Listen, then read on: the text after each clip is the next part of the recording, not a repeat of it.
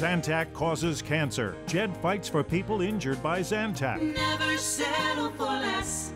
Never, never settle for less.